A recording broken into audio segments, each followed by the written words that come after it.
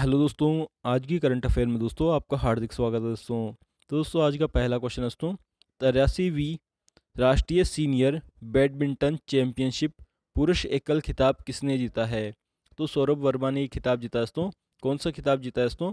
Senior badminton championship पुरुष एकल का खिताब जीता दोस्तों, सौरभ वर्मा ने दोस्तों। अब बात करते हैं दोस्तों नेक्स्ट क्वेश्चन दोस्तों। स्विस अभिनेता ब्रूनो गांज का 77 वर्ष की आयु में निधन हो गया।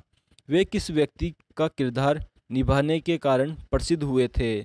तो हिटलर का जो किरदार है दोस्तों, उसके कारण ये काफ़ी फ़ेमस हुए थे दोस्तों। और इनका क्या नाम है दोस्तों?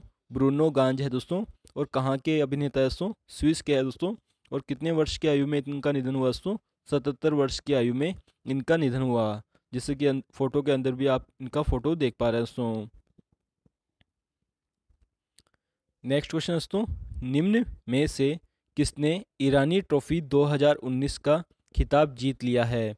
तो दोस्तों, जो विदर्भ है, विदर्भ जो दोस्तों क्रिकेट टीम है, उसने ईरानी कप 2019 का खिताब जीता दोस्तों। अब बात करते हैं दोस्तों नेक्स्ट क्वेश्चन दोस्तों टेनिस में कतर ओपन 2019 महिला एकल का खिताब किसने जीता है? तो एलिस मर्टेस ने जीता है, जैसे कि फ़ोटो के अंदर देख पा रहे हैं दोस्तों। एलिस मर्टे मर्टेस ने जीता है कतर ओपन 2019 का महिला एकल का खिताब, दोस्तों, टेनिस के खेल में, दोस्तों। अगर, दोस्तों, आज की करंट अफेयर का वीडियो पसंद आया, दोस्तों तो प्लीज़ चैनल को सब्सक्राइब कीजिए, दोस्तों, और इस करंट अफेयर के वीडियो को फेसबुक और व्हाट्सअप अकाउंट के माध्यम से अपने दोस्तों को भी ज़रूर ज़रूर शेयर कीजिए, दोस्तों।